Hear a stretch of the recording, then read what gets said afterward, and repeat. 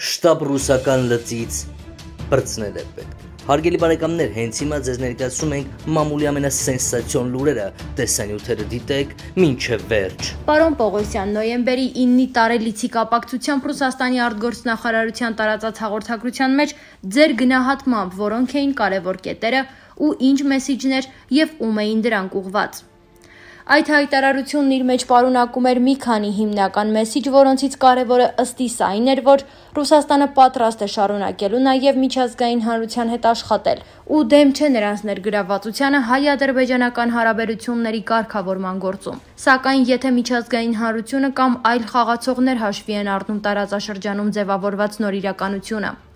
Ամենայն հավանականությամբ Մոսկվան ակնարկում է 2020 թվականի նոյեմբերի 10-ից հետո ստեղծված իրավիճակը։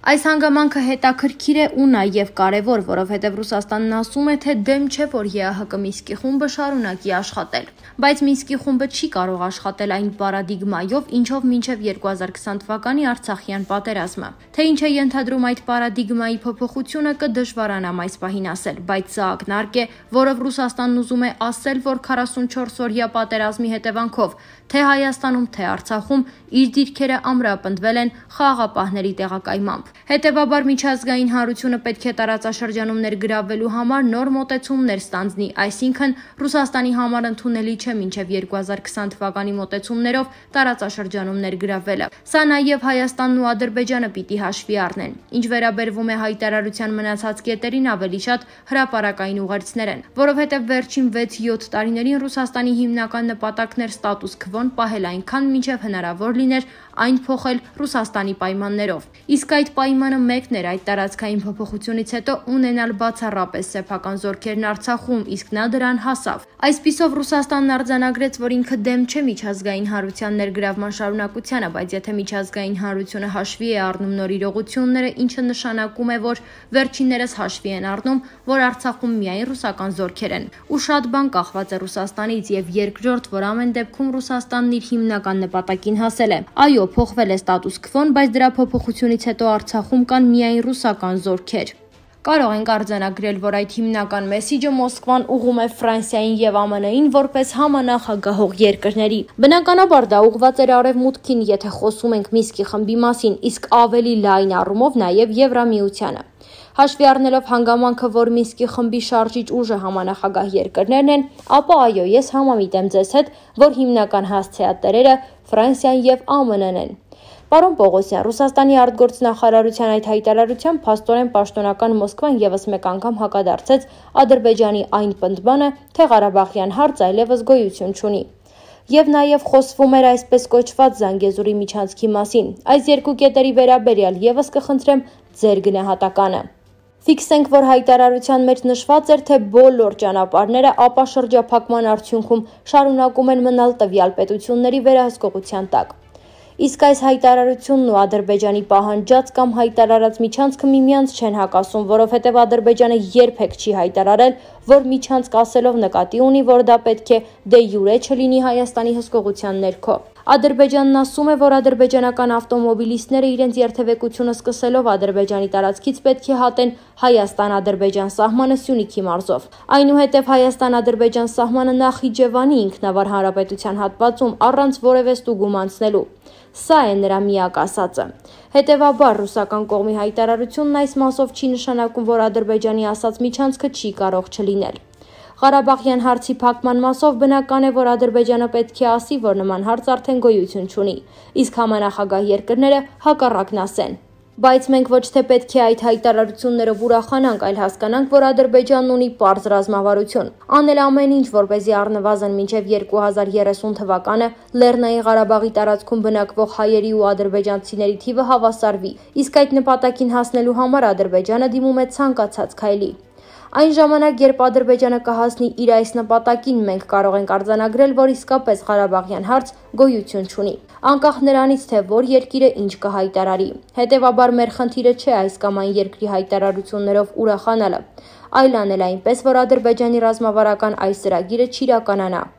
Այս հայտարարությունը կարող ենք համարել ինչ-որ չափով նաև պատասխան թուրքական 3+3 ձևաչափին։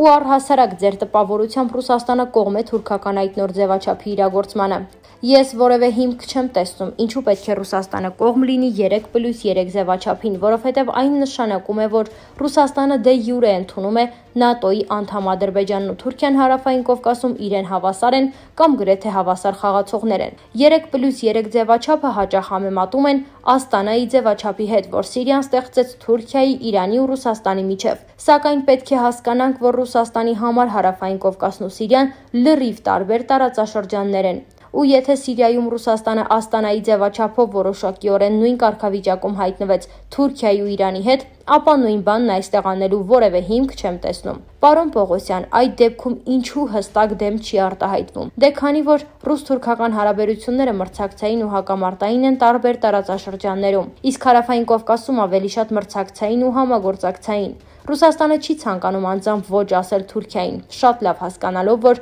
Թուրքիայի այդ առաջարկը Վրաստանը կմերժի, հետևաբար 3+3 լինել չի կարող։ Երբ Էրդողանը հայտարարեց եկեք 3+2 ձևաչափով առաջնորդվենք, քանի որ Վրաստանը դեմ է, Ռուսաստանն արդեն դրան որևէ արձագանք չտվեց։ Ռուսաստանը շարունակում է խոսել,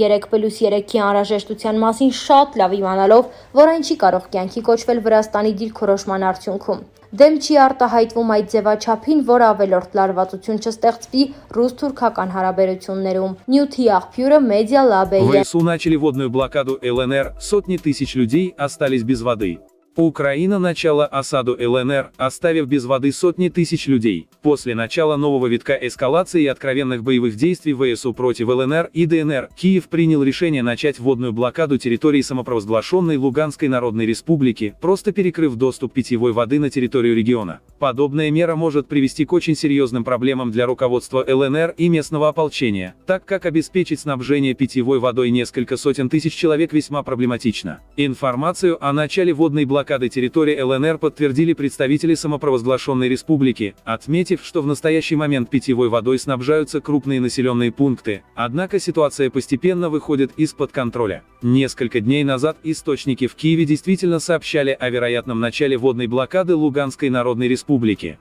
Причем, ситуация может очень серьезно усугубиться уже в ближайшие дни, так как украинская сторона не планирует возобновлять поставки воды на неподконтрольную территорию. Следует отметить, что двое суток назад ВСУ впервые за 4 года возобновили нанесение артиллерийских ударов по Луганску. Это указывает на очень серьезную проблему для самопровозглашенных республик.